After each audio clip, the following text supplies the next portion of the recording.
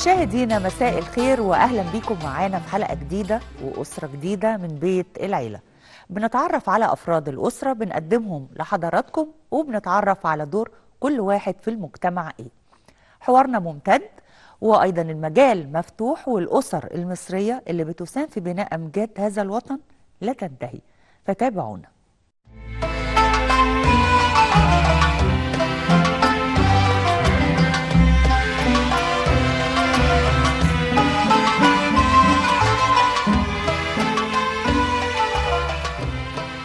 عائلتنا لهذه الليلة. هي عائلة تعبر عن اهتمامات كل مصري في اللحظة الراهنة بلا أدنى مبالغة. فالزوج هو سيادة اللواء عبد اللطيف البديني مساعد أول وزير الداخلية سابقا. من منا لا يتابع تطورات الحالة الأمنية والنجاحات المتتالية التي تحققها ليس فقط وزارة الداخلية وإنما النظام المصري. في مواجهة وحش التطرف الذي صار يؤرق بأفعاله دول العالم أجمع. أما الزوجة فهي السيدة ابتسام عبد العزيز مدير أحد البنوك الدولية العاملة في السوق المصري. وحوار لا يقل أهمية حول آخر تطورات الوضع الاقتصادي المصري وتوقعاتها حول نتائج الخطوة التاريخية والتي أقدمت عليها الحكومة المصرية بتعويمها للجنيه المصري في مقابل الدولار.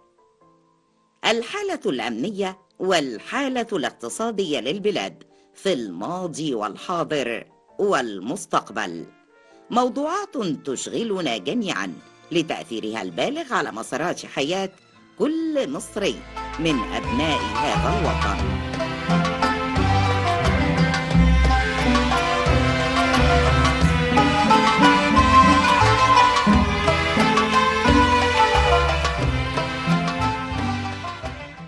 أهلا بكم مشاهدينا مرة تانية. دايما في بيت العيلة بنستضيف أسرة متميزة في مجال. النهارده معانا أسرة متميزة في أكتر من مجال مجال الزوجة ومجال الزوج. آه، معانا النهارده السيد اللواء الدكتور عبد اللطيف البديني مساعد أول وزير الداخلية السابق وأستاذ إدارة الأزمات. أهلا بحضرتك. أهلا بيك يا فندم أهلا. ومعانا الزوجة الأستاذة ابتسام درويش مديرة بأحد البنوك. أهلا بيك يا فندم. أهلا بحضرتك. يعني معانا مجال هنتكلم مع حضرتك عن الاقتصاد هنتكلم عن البورصة نتكلم عن الأزمة المالية الأزمة الاقتصادية. هنتكلم مع حضرتك عن الأمن. إن شاء الله. آه، خلونا نبدأ بالسؤال اللي بحب أبدأ بيه دايما الحلقة وهو بعيد عن كل المجالات دي. نتكلم في الأسرة شوية والناحية الاجتماعية. تمام. ونرجع بيكوا لزمان شوية وأول تعارف أول تعارف ولقاء اسمحي لي أنا أحكي على إن في قصة طريفة جدا. كانت كده. أنا كنت آه، آه، راكب العربية بتاعتي أنا وخالي الله يرحمه وماشي عند قدام القاهرة.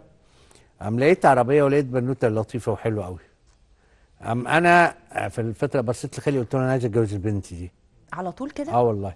يعني حب م- من أول نظرة أو انجذاب؟ انجذاب طبعا ما فيش أم آه، وخاصة إن أنا كنت يعني إيه رائد وما كنتش آه، بتجوز كانوا بيحاولوا في ال- والدتي الله يرحمها واخوالي عايزين يجوزوني يعني. أما بص لي وضحك. تاني يوم قال لي تعالى هنروح مشوار كده. رحت معاه. أتاري مامتها تبقى بنت عم. والدي وبس يعني داير شوية. قرابة من بعيد. آه ومش من بعيد قوي يعني. ولكن كان في انقطاع الصلة لفترة زمنية اللي أنا كبرت فيها يعني أو اللي أيوة. بقيت فيها. أما تقدمت لها وطبعا أبوها الله يرحمه كان مش موافق لاني ضابط بوليس. طيب إيه المشكلة يعني؟ آه شغلنا كتير ويعني متعبين و... مش موافق على حضرتك عشان ضابط بوليس. آه. آه. آه. أيوه. أما مامتها بقى اللي صممت على الله أيوة. يرحمها يعني آه. طب ورأيك بقى في فين يعني من القصة مع... هو حصل له انجذاب من أول نظرة؟ متهيألي أنت ما شفتيهوش أصلا؟ لا لا أنا لا أنا اتعرفت بقى بيه و- في توافق الحمد لله يعني أو حتى ما شفت خدت عليه بسرعة مش عارفة إزاي يعني. حصل آه توافق. توافق الحمد لله وبعد كده طيب العيش. يعني كانوا بالرغم إن أنا كنت في المباحث بس لبست لها رسمي اليونيفورم علشان أجذبها شوية عشان البنات بيحبوا الظباط وبع- يعني كتير من البنات يقولوا أنا عايزة أتجوز ظابط آه. بالبدلة كده آه. وخصوصا فترة من الفترات الفترة يعني آه، في- الفترة آه، في الثمانينات حقيقي. أيوة، بالظبط. أنا كنت بلبس مدني مم. لكن لبست لها مخصوص آه، وعملت عشان- شغل آه عملت اثرت التأثير الإيجابي عملت، المطلوب آه. يعني مش آه، كده برضو عملت. شغل آه، ولا البدلة؟ هو هو كان طيب قوي قوي يعني وكان ظريف والحمد لله يعني أنا ببقى عندي ما كانش عندك شروط في فارس الأحلام إن لازم تبقى فيه قصة حب أو آه، تكوني عارفة أكتر من كده والله أنا لا أنا يعني أنا أسمع طبعا عليهم طبعا خالص وبعدين آه، آه، قعدنا مع بعض كذا مرة لا وبقينا نخرج كلنا يعني كعيلة بقى فأخدتوا وقتكم في التعارف خدنا يعني. وقتنا برضو بس مش أيوة. كتير قوي وبعدين أنا عارفة آه، بتبقى أصل دي نصيب يعني قبل أي شيء أنا مؤمنة بالقدر يعني فده لو أنا ما لما انجذبت لي- ليه كده كنت مرتاحة نفسيا أنا آه. حسيت لا بالتوفيق الحمد لله. والغريبة إن كان العيلة عندك بتحاول إنها تقنعك بالجواز وأنت كنت رافض الفكرة حقيقي. وكل ده راح لما شفتها من يعني آه. هو بيحكي لي كتير قوي القصة دي بقول له أنا كنت في يعني هو بصراحة هو إزاي أنكل محمد الله يرحمه خالد محمد إن هو عرفني يعني لا عرف شاف طنطنات شاف مامتها فعرف راكبة إنهم معرفة. قرايب. وخ- آه. وخد بالك المفاجأة الحلوة دي آه، يعني. آه. فهو الحمد وبرده جت بسرعة طبعا نسبيا يعني الحمد لله. أيوه. طيب آه، لو هنتكلم بقى عن المجالات عندنا زي ما قلت في البداية أكتر من مجال ده, ده بالإضافة للمواهب. هنا في موهبة رسم ورثناها للولاد كمان. آه، خلينا بقى نتكلم على الولاد الأول لأنهم مش معاكم. فن... أنا عندي محمد الكبير آه، مستشار في وزارة العدل. قاضي في محكمة يعني. وعندي آية بنتي الصغيرة آه، مهندسة ديكور. وعندي الأهم من محمد وآية أحفاد أكيد. آه، غير الأحفاد. عندي آه، ابني محمد الدكتور محمد جزء آية. آه، بالرغم برضو إن أنا ما كنتش موافق عليه في الأول. إيه السبب؟ ظابط برضو؟ لا, لا دكتور صيدلي. أنا ما كنتش راضي يعني والكلام ده.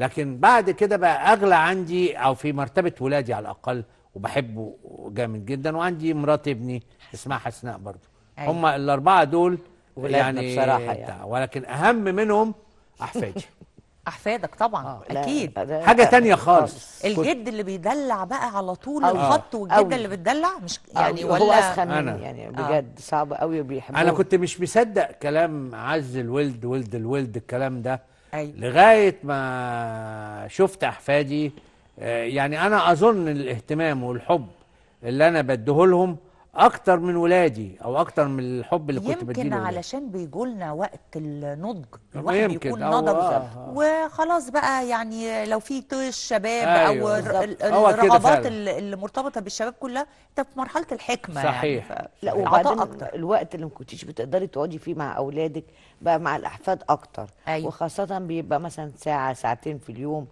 فبتبقي عايزة كل حاجة تديها لهم ومش أنت مش بتربي. أيوه. الجد أو الجده ما بيربي. بيدلعوا بيدلعوا بس. خلوني أقول و- و- ويعني وفي شبه اتفاق على كده إن جيلكم إيه، لحق الخير في كل حاجة حتى في العلاقة الزوجية مش زي دلوقتي.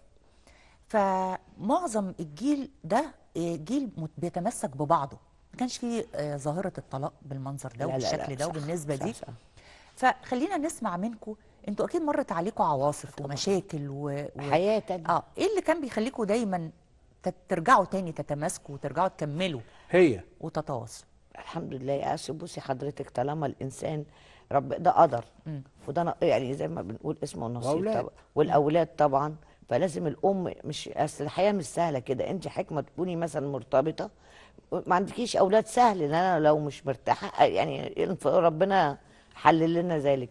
لكن طالما الإنسان عنده أولاد دي ذنبها إيه الروح اللي بنجيبها. أيوة. فلازم الواحد يعني هو مرة يعني حضرتك. شايفة إن طالما اخذنا قرار الإنجاب لازم انتهينا. خلاص ده انت بتعملي حياة بقى. والارواح اللي إحنا مسؤولين لازم عنها طبعا إن برضو الواحد مش بس يعني مش أنانية يعني مش عشان سعاده حد معين طبعا في حالات ربنا اباحها طبعا ما نقدرش نتكلم فيها أيوة. لكن لازم الأم هنا بقول الأم دايما إن الست هي بتقدر تعمل كنترول على البيت وللو... وللأولاد وإزاي تستحمل هي إن ربنا سبحانه وتعالى إدى لل- للمرأة قوة احتمال غير الراجل على فكرة يعني أيوة. في الحياة. فالجيل الجديد بيتسرعوا أنا رح- ملاحظاها طبعا اولادي متجوزين الحمد لله. بس الفكرة لازم ال- من الأم تعلمهم إزاي يحترموا البيت والأب و و ودي علاقة تربية. والتربية طبعا. مش عارفة إيه سر إن أنا دايما لما بسأل السؤال ده أنا سألته قبل كده. آه. آه على طول إجابة جت بتيجي سريعة زي إجابة حضرتك جت سريعة جدا هي. يعني لما بقول ليه إزاي تعديتوا الأزمات اللي بينكم خصوصا في السنوات الأولى يعني. لا آه طبعا. فدايما ألاقي الزوج آه، بيرجع أقول السبب لحضرتك ليه. والفضل للزوجه إحنا وصلنا دلوقتي لمرحلة سنية وفكرية واجتماعية تخلينا نقول الحقيقة. مم. يعني مش هي مش أنا السبب أنا بالعكس. ده أنا اللي كان ممكن جدا يعني أو مجال عملي آه، يضيع أي جواز. أيوه. لأن ما كنتش ما كانتش بتشوفني. يعني هي حضرتك يمكن آه، كنت بشتغل في الاداره العامه لمكافحه المخدرات. أنا فاكر إن أنا فوجئت بإن محمد ابني ده في الثانوية العامة. فوجئت؟ فوجئت. مش مثلا في ابتدائي؟ لا، لا, لا، في لا. ثانوية عامة؟ آه والله. يا ده عدى منك كتير قوي أنا بتكلم جد. أيوه. يعني يعني في الوقت ده أنا لقيت ابني بقى وبعد كده لقيت ابني بقى ظابط. قبل ما يروح القضاء كان ظابط. الله؟ أنا فين؟ أنا بتاع بنتي بتتجوز. الله؟ عشان كده بقى بتعوضها مع أحفادك. آه، كل اللي خالص. ما عملتوش مع ولادك آه، بتحاول تعوض. نقيض مكان حاجة ده هو عبد اللطيف كان صعب جدا حد يعدي من عند الأوضة لو أو بيذاكر أو بيعمل ماجستير والدكتوراه ما كانوش نعدي. مع أحفاده أقول لهم جده نايم محدش يدخل عنده. كان صعب. الشخصية اتغيرت. طب خلونا بقى أقول إن من ضمن أسباب رفض يمكن والد حضرتك للزواج في الأول إن في آه، فكرة آه، متاخدة عن الضابط عموما إنه صعب. فعلا التعامل معاه صعب لأنه بيتعامل طول الوقت مع تجار مخدرات. مع مجرمين مع لا، لا. فبيبقى إلى حد ما الطباع ممكن تكون هو صعب ز- خلونا دي نسمع الإجابة بعد الفاصل نخرج اتفضلي. للفاصل بدعوكم ليه وبعد السادة المشاهدين ونرجع نستكمل حديثنا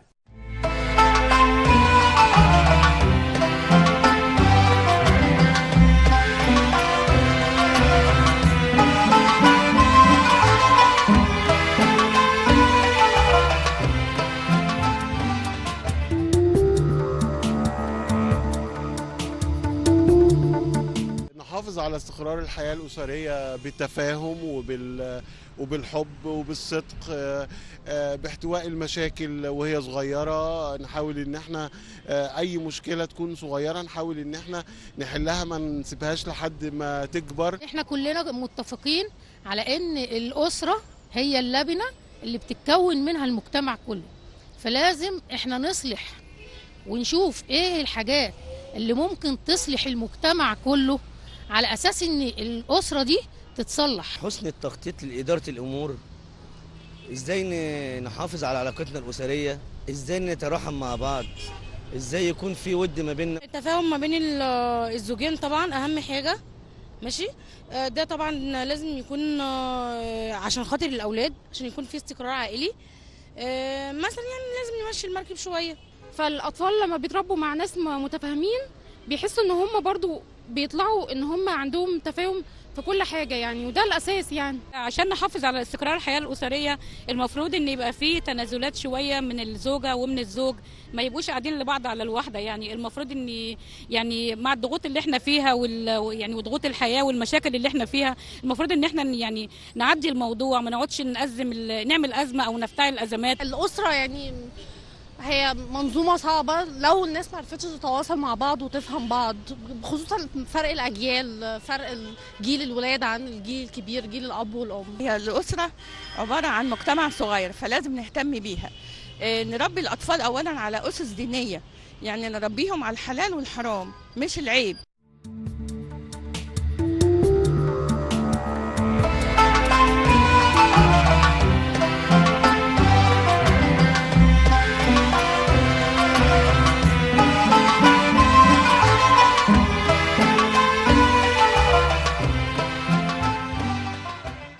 أهلا بيكم مشاهدينا مرة تانية. بنستكمل حوارنا وحوار هو صريح. أنا بقول لك بعض الأهالي واخدين يعني فكرة إن بنتنا تتجوز ضابط ممكن يكون شغله صعب ممكن يكون معرض للخطر وممكن يكون الطباع برضو لأنه الشغله مش عادية مش روتينية مش مكتب قاعد عليه عادي و... أو. وظيفة عادية. تنشن طول الوقت. تنشن طول الوقت. آه. فده بيأثر على أعصابه. صحيح. فحتى حضرتك بتقولي لي هو اختلف تماما. آه طبعا. السنوات الأخيرة لا الأول هو كان صعب. صغير. لا هو مش صعب كصعب. يعني طبيعة شغله لازم حضرتك تكوني مقدرة. أيوة. وطبعا في طبعا انت بتبقى طول الوقت ستريس إنك بتبقي خايفة عليه ما بينزل مأموريات طبعا. بتبقي قاعدة بتبقي مرعوبة في البيت خايفة عليه وخاصة في الوضع كمان الحالي الحمد لله يعني. أيوه. ف- وبرضه زمان كان في أوقات في الثمانينات كان في ظروف زي. كده في البلد. كانت فكان. فالواحد بس بيتخض فالأبهات بس أو الأهل.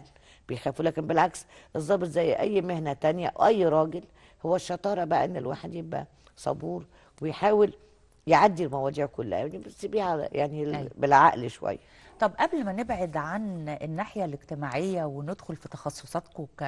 كموظفين يعني. الحمد لله آه عايزة أعرف حضرتك بتشتغلي ووصلتي إنك مديرة وفي بنك من البنوك الخاصة يعني آه. يعني صعب الشغل ما كانش معترض سابك تحققي حلمك وطموحك؟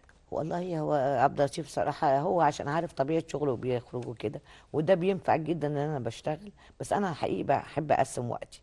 فطبعا ما عنديش الفراغ بتاع أي واحدة قاعدة في البيت فعلى طول كنت أجي من الشغل بنظم وقتي مع الأولاد بعد كده هو يعني وفي أجازاتي بنقعد كعيلة يعني يمكن مش كل وقت معانا بس إحنا بنعرف يعني الحمد لله أنا بعرف أقسم وقتي إزاي.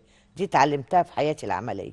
وده أنا هو عارف ان أنا وهو متفاهم جدا طبيعة شغلي وساعات بيتحمس معايا أنا بكلم العملاء في التليفون بيكلموني في اي وقت طبعا. أنا بلاقيها بتتكلم بقى يعني أنا الحقيقة في الفترة الأخيرة قعدت كنت عامل عليها فوكس يعني كده.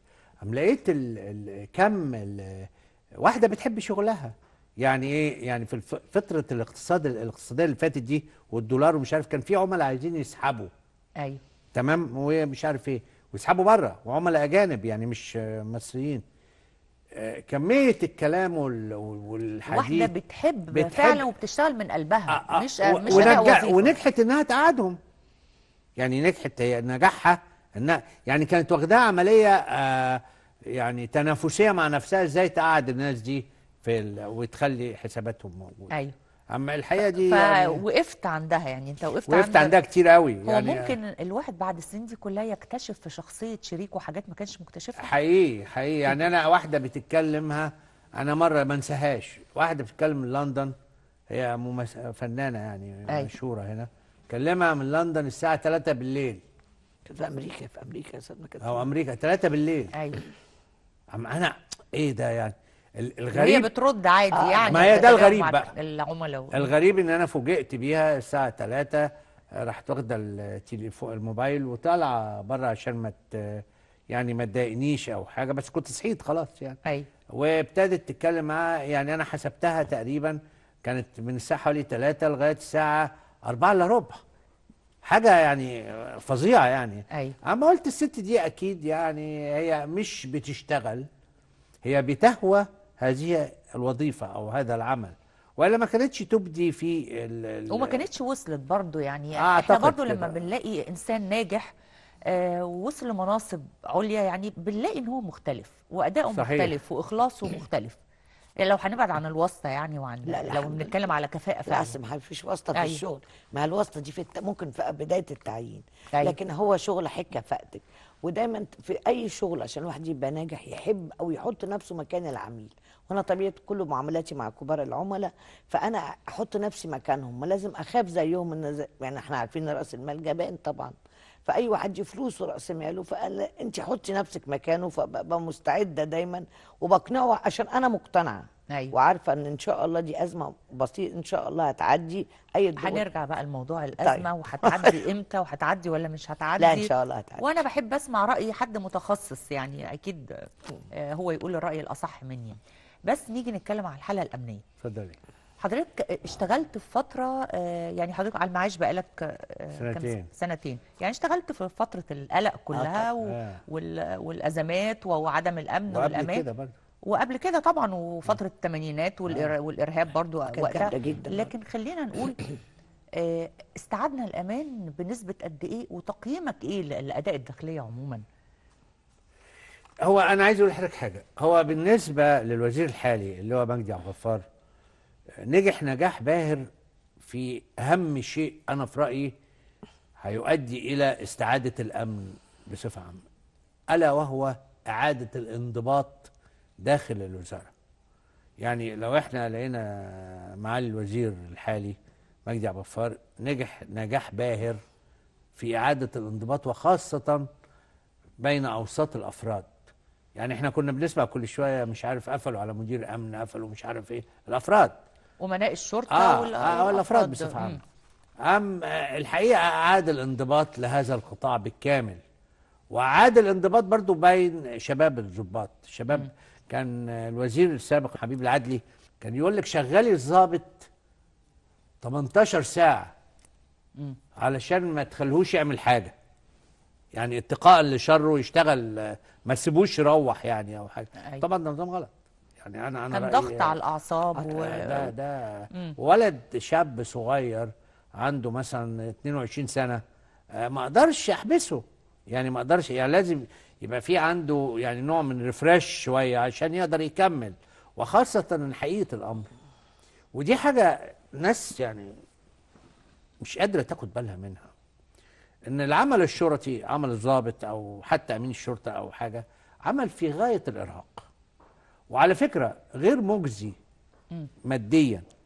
يعني حضرتك الضابط ما بياخدش ال- المبالغ اللي بيقولوا عليها الناس اللي بتقول عليها دي أنا ب... وده بيؤدي لعواقب طبعا. برضه تانية وسلبيات كتيرة جدا هو يعني آه، الحقيقة ابتدى برضو الوزير الحالي يديهم أحسن من الحالة أحسن من الفترة اللي فاتت أيوة. لكن واحد بيشتغل 12 ساعة متفرغ تماما لعمله مهدد بالقتل مهدد بالإصابة يعني الحقيقة كم الامبريشن اللي على الضابط بيبقى كبير جدا. المفروض يكون أعلى من كده وواحد يقول لي أعلى يعني إيه أنتوا هتعمل؟ آه أعلى. لأن هو صمام الأمن وصمام التقدم للحالة الاقتصادية والحالة الاجتماعية والحالة الثقافية هو الأمن. أيوة. من غير أمن لا هتلاقي اقتصاد ولا هتلاقي ثقافة ولا هتلاقي اجتماع. أنا مش بقى. على فكرة هو في بعض الناس يقول لك أنت بتدافع عشان النظام ده لا ابدا. أنا أنا أنا فاهم. أنا أنا رجل دارس ورجل أكاديمي نوعا ما وعملي برضو آه، وعندي خبرات وأنا بقول لحضرتك بدون توفير الأمن والأمان لا يوجد تقدم في أي مجال مهما كان. نطلع لفاصل بدعوكم ليه وبدعو المشاهدين ونرجع نكمل حوار.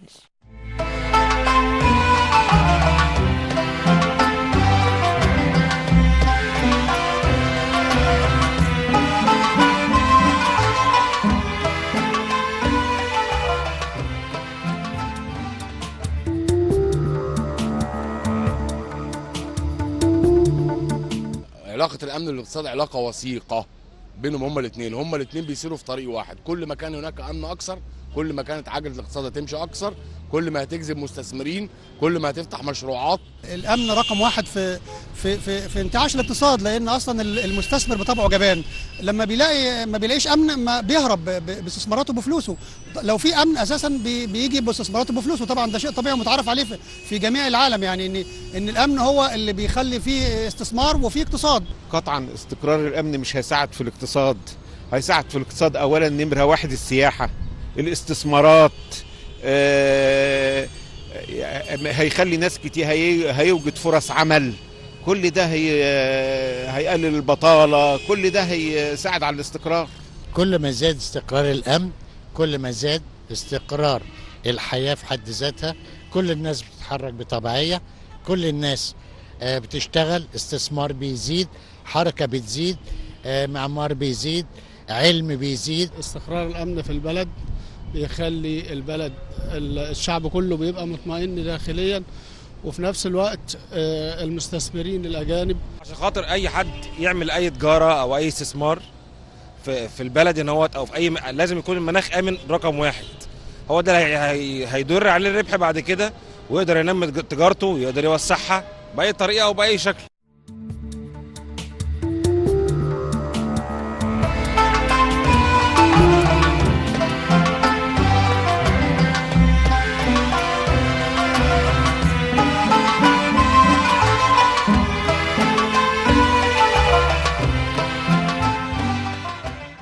عايزين نتكلم مع حضرتك في تخصص تاني مهم جدا وهو إن حضرتك أستاذ إدارة أزمات. أيوه فندم. وأنا بيتهيألي إن معظمكم لازم يدرس آه، إدارة إدارة الأزمات. أزمات. صحيح. مش كده؟ لأن مرتبطة جدا بشغل جداً، الأمن جداً، والأمان. جداً. آه، بس عايزه أتكلم مع حضرتك الأول. آه، تخصص مختلف بقى تماما. أنا بيتهيألي التخصصين دول بيضيفوا للعلاقة يعني. وده هتكلم معاكم فيه بعد كده يعني. عندكم مواضيع دايما تتكلموا آه، في فيها طبعاً. مختلفة. آه، حضرتك مديرة بأحد البنوك زي ما قلت. وطبعا آه، كل القرارات الأخيرة الاقتصادية من تعويم جنيه لدولار ارتفع يعني وده حديث يعني الناس كلها الساعة. الساعات كلها آه. والأيام كلها. ليه دولار بينزل وبعدين بيرجع يطلع تاني. مع عرض وطلب حضرتك برضه. متوقع إيه يعني؟ الواحد ما بقاش فاهم ال- الفترة اللي جاية. متوقع يصعد ويستقر يعني ولا يرجع زي الأول ولا إيه يعني؟ شوفي حضرتك ما فيش أي حد هيقدر يحكم مم. أو يقول لك السعر هينزل ولا يطلع إن دي عملية عرض وطلب.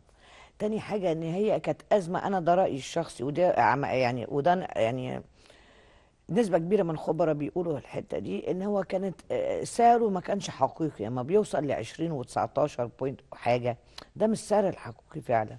الفكرة كانت الفترة اللي, قبل التعويم كانت مفتوحة ان أي سلع بس لا قبلها بسنة كمان. كان ممكن أي سلع الاستيرادية فالاستيراديه بيبقوا عايزين على طول تدبير عملة و و ما لقوش في البنوك بيشتري من السوق الموازيه الفكرة إن ابتدوا يرش يعني يعملوا زي بيعملوا بي- بيرشدوا الحتة دي. فبقى البنك المركزي صراحة نزل لستة معينة السلع الأساسية ونبتدي نحد من إن إحنا أي حاجة مفتوحة نستورد مواد يعني مش أساسية بقت المواد اللي هي بتخش في الصناعة طبعا اللي هي تدبير المواد الغذائية اللي هي الحاجات السلع الغذائيه الأساسية. فبالتالي الطلب على الدولار ما بقاش زي الأول. فطبعا ومش أي حاجة مش مش فاتحين عملية الاستيراد اللي هي الحاجة إلى ال- ال- العملات الأجنبية. فبالتالي إحنا هيبقى السعر الفعلي اللي هو في السوق دلوقتي حسب ما دام الطلب عليه قل هينزل السعر. فأنا بقول اولا ده السعر الموجود دلوقتي حاليا برضو ده سعر مش الحقيقي يعني مم. طبيعي أما إحنا عجلة الإنتاج هت- والمصانع يعني هتشتغل. أكيد هيعلى أكيد هينزل بس هو هو وصل أصلا ل 17 17 أو ونزل مم. ونزل 15 بوينت حاجة و16 وشوية بعدين 15 وبعدين يوم يطلع ده بيطلع وبينزل عارف يا حاجة ده فعلا عملية عرض وطلب أيوه والحقيقي إن هو ده مش ده كمان سعره الحقيقي مم. إن الدولار برضو أنا بقول رايي الشخصي إن ماكسيمم الدولار يبقى 12 13 أيوه. ده حقيقي يعني ممكن عشان طبعا هيوصل إنه يستقر عند 12 13 ده حسب السوق طبعا إحنا زي إحنا ماشيين بنفس الاتجاه. مم. وطبعا نتمنى والله ده يبقى ده- خبر سعيد جدا ده جميل يعني. جدا. ده بعد قد. إيه؟ بعد كام سنة يوصل 12 13 لا ده طبعا هو طبعا حكم ما لازم برضو ما يبقاش كله اعتمادنا على الاستيراد. أيوه. لازم إحنا نبقى زي ما كنا زمان بقى اللي بيقول لك زمان مصر زمان لا مصر كان فيها إنتاج يا زراعي يا برضو صناعي جينا فترة كنا متفوقين.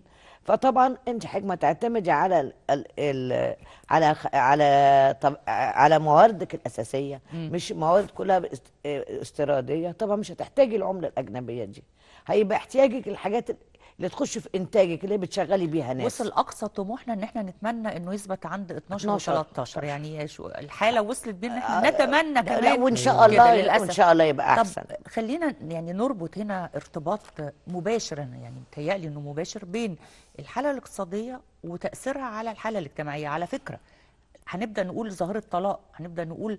ظاهرة عنوسة بيأثر صحيح. آه آه سوء العلاقات بين الأزواج آه التوتر ال- ال- اللي بين الناس ال- الغير طبيعي والأخلاق طبعا اللي ظاهرة والحالة الأمنية وحوادث السرقة وال- والخطف وما إلى ذلك ف آه وحضرتك دارس آه إدارة أزمات طبعاً. فأكيد لامس الارتباط ده اولا إدارة الأزمات يعني ببساطة جامله ليها مرحلتين مرحلة ما قبل الأزمة ومرحلة ما بعد الأزمة مم. قبل الأزمة زي الزوج والزوجه الطلاق هي نقطة الأزمة. بعد الأزمة بيبقوا مطلقين مش أزواج. عم بيبقى الأوضاع والمشاكل اللي موجودة قبل الأزمة هي غير ما بعد الأزمة. بالظبط كده الامن أيوه. ال- اللي بيحصل إيه؟ في الأزمات اللي هي الطلاق ال- العنوسة ما- نتيجة أزمة بتحصل دي. أزمة اقتصادية. وأنا رأيي إنها أزمة أخلاقية بجانب إنها اقتصادية. ما تزعليش مني حضرتك تجار برضو. يعني آه والطمع. والجشع. بس برضو هنا الرقابة لازم تشتغل. ما هي ما هو أزمة أخلاقية. يعني. أخلاقية بيخش فيها الرقابة. أيوه. يعني أنا أنا مرة يعني يعني هقول لحضرتك حاجة. وبدون دخول أو ح- يعني الكلام في أي حاجة لما يبقى المثل الأعلى لشباب كتير مش عارف اللي يعمل شعره إيه ده مم. ممثل آه يثبت آه يقول لك أثبت إيه ده يعني أنا عايز أقول لحضرتك حاجة إحنا زمان يعني برضه ده جيلنا أيوه كان مثلك الأعلى مثلا آه، جمال. عبد الناصر مثلك الأعلى آه، العقاد مثلك الأعلى حسنين هيكل. بالرغم إن أنا حتى النجوم يا فندم كانوا حتى مختلفين. النجوم. يعني حضرتك. قلت يعني- ممثل طب ما الممثلين كانوا ما أنا مختلفين كنت لسه رشدي. اباظه يعني و- شوف- وبعضه بلا حتى شوفي عمر الشريف. شوفي أحمد رمزي. طب أحمد رمزي كان بيمثل برضو الولد الشقي اللي بيضرب اللي بتاع. لكن جان. يعني تحبي تلبسي زي أنا فاكر كان بيحط ميدالية هنا كده. عم كان آه والله. آه كلنا كنا بنحط الميدالية دي في الكلام ده. أيوة. يعني حاجة بيحتذى بيها. آه آه حسن يوسف. كان آه، نحب نعمل زي دمه خفيف وإزاي الخير بينتصر في الآخر وإزاي إن دايما ال- الصح هو كلها دايرة يا فندم. بالظبط. يعني مش بس الاقتصاد وتأثيره على الحالة الاجتماعية والحوادث والأمن وال... كلها دا- دائرة يعني. أم أنا ما أقدرش بيتأثر طبعا. ما تقدريش. حضرتك تقولي الفن يعني مثلا بيتأثر. واحد آه، مثله الأعلى البنات. كان مثلها الأعلى في الفطرة بتاعتي يبقوا زي سلوى حجازي. زي أماني راشد. دخلنا في المذيعات. آه يعني بصفة عامة البنات. دخلنا في الإعلام البنات. أو أيوة. دكتورة مش عارف مين. يعني أنت فاهمة حضرتك كان في قدوة وفي مثل أعلى. أيوه. اللي بيقدمه مين؟ الآلة الإعلامية. طب إدارة بقى الأزمات بتتصرف إزاي؟ يعني هل هو علم بيدرس آه طبعاً. ورق في المكتب زي البحوث العلمية لا، لا، ولا لا. أنتوا فعلا ليكوا خطة بتتنفذ على أرض الواقع؟ يعني إحنا في حالة أزمة. أيوه. إحنا لسه ما, أزمات ما مش نقدرش نقول إن. إحنا رجعنا لا مستقرين طبعاً. لا، لا، لا، لا. و... لا، لا، لا. يعني ما فيش حوادث لا، وال... لا. لا لسه إحنا في مرحلة حرجة أيوه فهل في استنفار هل يعني الداخلية دورها مهمة قوي في ال... زي دور الرقابة زي دور الدولة والحكومة برضو شك ب- متفق معاكي تماما إن الدور الداخلية يعني لازم أدائها يبقى استثنائي والله يا هانم الداخلية دورها ببساطة كاملة. حاليا آه، آه، يعني الله يكون في عونهم. أنا مش بدافع عنهم الله يكون في عونهم. أول حاجة الداخلية بتخرج يا جماعة من عنق الزجواجة حاليا يعني أو خرجت الحمد لله. بتستعيد مكانتها محتاجة ال- ال- الفطرة والوقت وال- والدعم المادي. أصل خلي بال حضرتك هو زمان آه، يعني مع احترامي آه، جندي بتاع العسكري الدرك ها من هناك ده كان مؤثر وكان عامل آه، آه، تواجد كان بيحسس بالأمان طبعاً. ك- بالظبط. في كل حي فيه في حتى في إزاي نرجع إحنا هيبة واحد يقول لي هيبة يعني إيه آه آه هيبة لازم يكون العسكري ده هيبة. طب إزاي نرجع الهيبة؟ هل الهيبة مرتبطة بإن بتطبيق- أداء الضابط يبقى في مثلا بعض العنف؟ لا لا لا لا, لا مين قال كده؟ ولا بالعكس بناء لا، لا، علاقة؟ بالقانون آه، بالقانون. كان في آه بتطبيق القانون. لواء. اسمه طلعت طن- آه طلعت منصور. ربنا يديله الصحة والعمر. ده كان الكومندان بتاع دي, دي في إدارة المخدرات. قام كان طلعت بيه دايما يقول لنا إيه؟ الشطارة إنك أنت تستنطق المتهم وليس انك انت تعذبه. التعذيب مش هيجيب حاجة أو تضربه مفيش أي حاجة. بالعكس الضابط اللي بيضرب دليل ضعفه وفراغه. أيوه. الضابط اللي بيقدر بالمناقشة وبالتحقيق وبالتحريات هو اللي يوصل هو ضابط جيد أيوة. لكن برضو يعني حضرتك عشان ما نبعدش عن ال- الموضوع الأساسي إن سبب الظواهر الاجتماعية الإجرامية اللي موجودة حاليا ضعف في النوازع الأخلاقية سواء في الأسرة أو في الإعلام أو في التواجد الأمني في الشوارع. لأن برضو إحنا التواجد بتاعنا مش زي زمان أيوه حتى هذه اللحظة نتيجة قلة عدد بقى ولا طبعا قلة ضعف الأول؟ برضو يعني. خلي بالك يعني ال- الحمد لله أظن إن إن في حاليا في إمكانيات كويسة جدا يعني أيوة. تالي أنا ع- من خلال مشاهدة م- مش من خلال معرفة يعني حضرتك لكن- بعدت عن لا لا لا ابدا ابدا ابدا لا, أنا لا يعني ملاحظاتك دلوقتي كمواطن عادي شايف آه، بعينيه كمواطن، أنا مش هقول كمواطن. كمعلومات شخصية. عندي معلومات شخصية بس يعني إيه ال- أصل هقول لك حاجة الظابط بيفضل ظابط. سواء آه في الخدمة أيوه سواء في المعاش حتى لما بيموت أنا متهيألي بيبقى ظابط برضه يعني آه، ال- ال- الظباط يعني إحنا إحنا بن- بمعنى علاقتكم ببعض ولا معنى علاقتنا هنا ببعض إيه؟ علاقتنا بالجهاز علاقتنا بالانضباط اللي داخلنا. يعني انت فاهمة حضرتك في حاجات كتيرة جدا بت بتخليكي ليكي آه، كينونة معينة وشخصية معينة وتفكير معين واتجاه معين سلوكي. الضابط أو زوجة الضابط وزوجات الضباط كلهم أكيد عندهم سمات مشتركة في تأثير الوظيفة على الزوج في البيت ع- عليه كانسان وزوج. فنقول إيه يعني آه، بيتميز حاجة، بإيه أو؟ آه، لأ هو الظابط شوية يعني بتبقى هو طبيعة شغل بيبقى ستريس على طول طبعا وعنده ضبط يعني ما يقول تقولي مثلا راجع من الشغل الساعة 4 5 6 يعني عايز 6 6 لو 6 ونص بيتخض بيبقى صعب شوية بيبقى إزاي وبتاع. الأولاد ناموا طب ده الساعة 9 يعني هو ظباطي قوي أول حاجة أهم حاجة في ضابط الشرطة إنها تكون صبورة.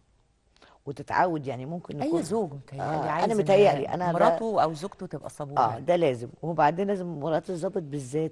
يعني ممكن انت مش زي أي عيلة تانية إن إحنا نسافر مع بعض. يعني هو أقصى حاجة كان يوصلنا يوصلنا بس.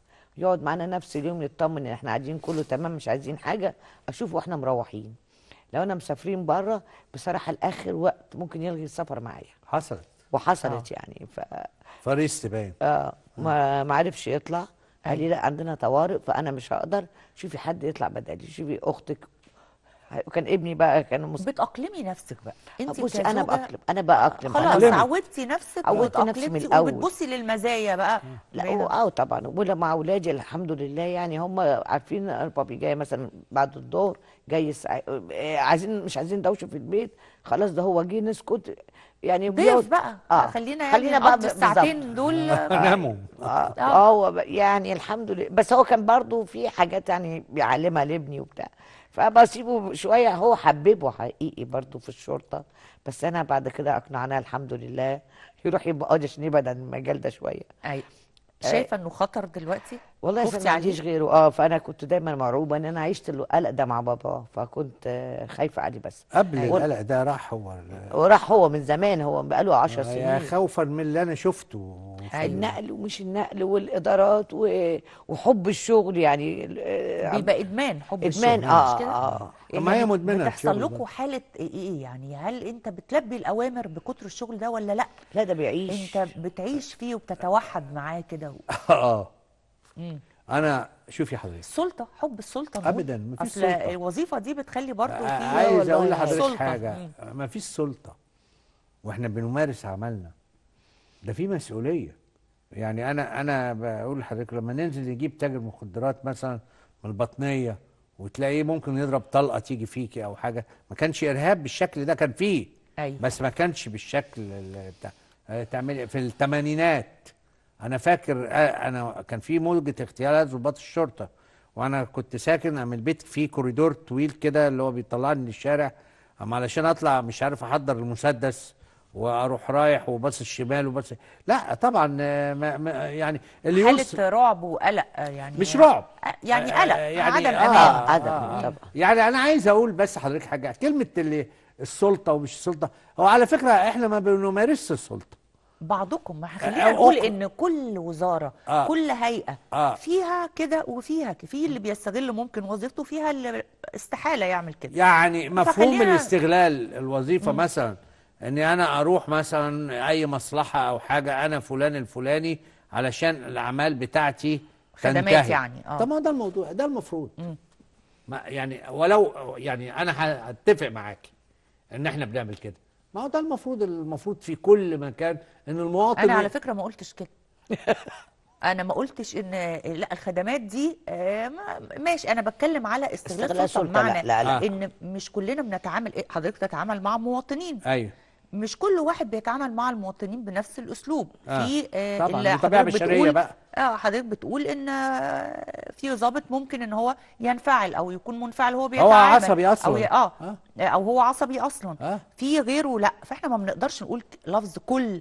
ما أقدرش اعمم لا ما نقدرش. نعمم. التعميم مش آه، مظبوط. ده في كل مكان يعني. وأنا يعني أنا أقول لسيادتك حاجة. هل الضابط أنا أنا مش بدافع عن الضباط برضه. أنا بقول واقع. أنت حضرتك بتشوفيه هل الضابط اللي مرمي في الشارع ده في المرور هقول لك المرور واقف على حيله 14 أنا دلوقتي بقيم اللي فات مم. يعني أنا يعني ك بعمل فلاش باك كده على اللي شفناه أقول الله إحنا استحملنا ده كله إزاي يا عيني عليك يا يا اولادنا اللي مرميين في بجد والمواطنين بيستحملوا يا فندم برضه طب أنا هسألك سؤال بقى. معاكي. آه طبعا لا هي ما شك. طب أنا هسألك هو سؤال مواطن. المواطن اللي يواجه ضابط حض- زي ما حضرتك بتقول من الضباط مثلا الشباب اللي هم لسه آه، مبسوطين بالمهنة وبتاع آه، بيبقوا مختلفين عن الأجيال بتاعتكم أيوة. أحيانا بعضهم. أيوة، مع الأسف. يتعامل إزاي؟ ببساطة جدا هيروح لأقرب ضابط موجود معاهم كبير. بس. إن كل رتبه ببساطة جدا. لا في تجاوز من ضابط صغير أو أو أمين شرطة أو أو أو أو هيتجه للضابط الكبير. أنا بأكد لحضرتك إن الضابط الكبير هيجيبه على طول. هي بي- بياخد الأمور ب لا هيفهم هو يعملها. طب يا مش عارف إيه أيوة. الكلام ده. أنا شفت بعيني مرة آه، مشكلة بين سواق تاكسي سواق تاكسي على فكرة. يعني أنا أنا كنت عايز أنزل يعني بجد آه، يعني أعنفه يعني مثلا من العربية بتاعتي. آه لقيت آه، ضابط أنا عجبت بيه جدا يعني كان هنا في التحرير. أظن مقدم أو عقيد مش فاكر يعني.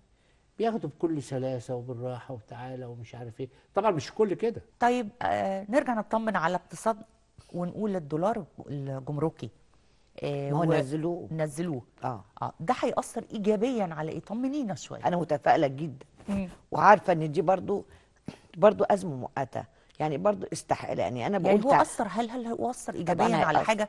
طبعاً السلع مثلا هتقل ال- هقول لحضرتك حاجة بدليل إن أبسط شيء إن هو طبعا بس هو جشع التجار. أبسط شيء ما أما السكر. آخر حاجة كانت لسه يوم الخميس. أنا أيوة. لسه قاريها يوم الخميس. بقى ب 10 جنيه وشوية يعني كويس قوي من 14 جنيه. يعني بتأثر. في طبعا هو هي طبعا هو بقول جشع التجار ليه؟ على أساس هم برضو الزيادة اللي عملوها وهميه يعني ان انت حاجة أي حاجة بتشتريها يقول لك الدولار عالي. طب أنت اللي دخلك بالدولار ده. طب هل الدولار الجمركي تأثيره فقط على المستورد السلع. السلع اللي بنستوردها؟ آه طبعا. ولا تأثيره على حتى المحلي السلع اللي ما هو أي حاجة ما أي سلعه بتبيعيها بتاخديها بقى أول لو بتستورديها على طول ما بتعيديش إنتاجها. ما كله مرتبط بدايرة واحدة. مم. فطبعا سلاكي. فطبعا هم ده بيعلي دام نزل المفروض أوتوماتيك. انت بتقولي المواد الخام دي اشتريتها بسعر معين أقل. هيبقى أبتدي أبيع بالسعر ده ليها نسبة هامش ربح معين فلغاية ما بيطلع للمستهلك في الآخر. هي الفكرة إن حضرتك بي بيزودوا مش ال double أكتر. يعني حضرتك بتلاقي سلع زادت فعلا بنسبة فوق ال 60 70% المدارس المدارس ال international وال national بقى زودوها بس ما برضو. يا أستاذ إدارة الأزمات أيوة. ما هو نعمل بيعمل إيه؟ لنا الأزمة أيوة. دلوقتي نعمل. إيه ور... أيوة. وأي أيوة. رقابة وأي جهة هي لازم- مسؤولة ال- ال- حضرتك جيتي على نقطة المدارس لا ده أنا عايز أقول. لحضرتك الناس بت... لا بتعاني هقول لحضرتك يعني- حاجة مش كل إحنا معلش. طبعا مش كل المدارس كلها بتدفع بالدولار بالاسترليني إحنا كنا بندفع بالمصري آه زودني والحاجة غلت ويقول لك الكتب ما هو ما لقوش حاجة يعلقوها فيها يقولوا الكتب اللي يعني بنجيبها الناس هتلاقيها في. المعيشة اليومية. هي أهم ولا حاجة. في ال... في ال... في. المدارس شوفي والتعليم حاجة وال... أنا لا أقول أنا عايز أقول حاجة. حكاية الدولار دي أنت بتلاقي العمال المهنيين آه، يقول لك أنا باخد كذا تقولي له يا ابني أنت عملت ما الدولار إيه عالي. هو مش عالي. الدولار يا بيه عالي. الدولار؟ شوفي حضرتك لو سباك يقول لك الدولار عالي. المدارس اسمحي لي بس أقول حاجة. اتفضل. أنا كنت بتفرج على برنامج آه، فوجئت بعض الناس بتعمل مداخلة ويقولوا إن مديرة مدرسة أو صاحبة مدرسة أو ايا كان البتاع علت 25 ألف جنيه مرة واحدة فوق المصاريف اللي هي موجودة. المدارس دي مين اللي داخلها مش كلهم مليونيرات مش كلهم ال- ال- الهاي ال- في ناس- بتصرف كل ما. تملك عشان تعليم. ولادها تقول ده حاجة. استثماري في ولادي بالظبط. أنا والدي كان يقول مش. شرط على فكرة. يا جماعة لا لا لا لا لا. ولد يعني إحنا لو قلنا راجل بتشتغل وإعلامي ومراته دكتورة أو العكس إعلامية وجوزها مش دخلهم مهما كان محدود أيوه أم لما أجي أقول لهم أنتوا زيادة 25000 جنيه هيجيبوها منين؟ لا. وبعد كده هم من حقهم إنهم يعلموا أولادهم كويس. وبعد كده انت متفقة على سعر معين. ما تأثرش بال بالدولار ولا بغير لا دولار. جابوا بقى موضوع الجشع. الكتب. الجشع. ما بقول عملية لحضرتك جشع فظيع جدا. وآه لا لا واستغلال ال- النقاط ال- عشان تهرب من المسؤولية. ومع الأسف إن لا يوجد مواقف صارمة لازم من من الحكومة تجاه هذه الخروجات يعني أقول لحضرتك دي حاجة حاجة غريبة جدا طبعا.